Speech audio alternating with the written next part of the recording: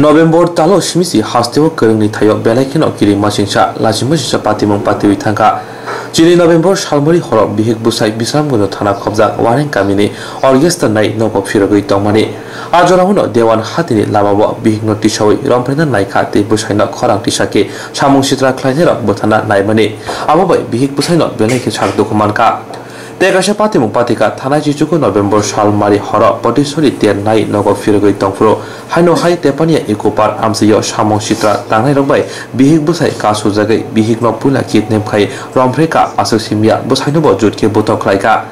বুসাই কাসু জাগাই বিহিক ন পুলা কিত নেমখাই রমফ্রেকা আসক সিমিয়া বুসাইনব জুটকে বুতক খাইকা অমহাই সেলে মাসিংসা তে কিরি মাসিংসা পাতিমু পাতিউই থাঙ্কা ফিয়াবা তামুক ব খরকসনা ফল নাই মথার রবি মানিয়াখো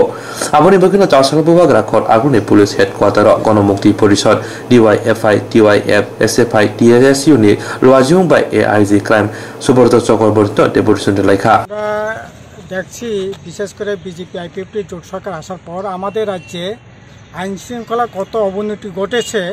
মানে প্রতিদিনই এমন কোনো দিন বাদ নাই, যেদিন কোনো না কোনো মানে একটা অস্বাভাবিক নৃত্য, মহিলাদের উপর নির্যাতন বা আপনার শ্লেতাহানিতা গণদর্শন দর্শন এগুলি প্রতিনিয়ত বেড়েই চলেছে একদিকে গণতন্ত্র সবাই চলছে, অপরদিকে মানুষের মৌলিক অধিকার খর্ব করা হচ্ছে, আর গোটা রাজ্যেই এখন আইন শৃঙ্খলা একবার খাদের কিনারায় চলে চলে যাচ্ছে। ফলে তারই একটা মানে এরকমই ঘটনা আমাদের গত এই মাসে আপনার বারো তারিখ বা তেরো তারিখ, উনিশ তারিখ,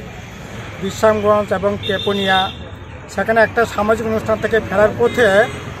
এবং পরিবার পরিজনে, পরিজন ছিল সাথে। জামাই বউ, তারা একটা সামাজিক অনুষ্ঠান থেকে ফেরার পথে। কী ধরনের এত বড় সৎসাহস?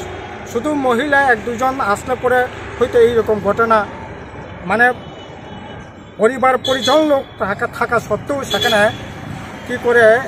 মানে এখানে তাদেরকে জামাইকে সেখানে ঐশিষ্যিকভাবে আক্রমণ করে এবং সেখানে তার ওনার যে বউকে সেখানে গণদর্শন মানে হানিটা করে সেখানে চরম একটা বিপর্যয়ের মুখে সেখানে ফেলে দিয়েছে আমাদের রাজ্যে আইন শৃঙ্খলা কাজে এটা এভাবে, কোনোভাবেই এভাবে চলতে পারে না। তার জন্য আমরা বলছি যে দোষীদের প্রকৃত শাস্তি যাতে দৃষ্টান্তমূলক, যাতে শাস্তি হয় এবং কঠোর শাস্তি বিধান যাতে করা হয় এবং যারা ভিকটিম তাদের পাশে সরকার যাতে দাঁড়ায়, তাদেরকে আর্থিক মানে সাহায্য টাহায্য করে তাদের পাশে যাতে দাঁড়ায় এবং তারা আমরা দেখেছি, তারা অত্যন্ত গরিব অংশের মানুষ, সাধারণ অংশের মানুষ কাজেই তাদের পাশে সরকারকে দাঁড়ানো এই সময় অত্যন্ত দরকার আমাদের দাবি হচ্ছে তাদের পাশে সরকার দাঁড়াক।